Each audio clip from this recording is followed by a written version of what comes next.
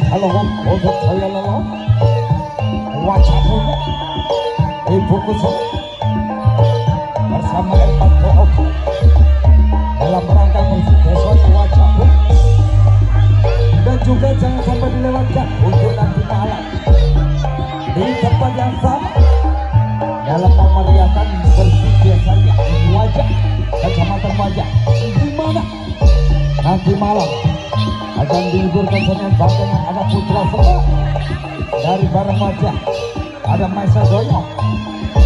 Juga dari barang wajah lalu ada lembu sob wajah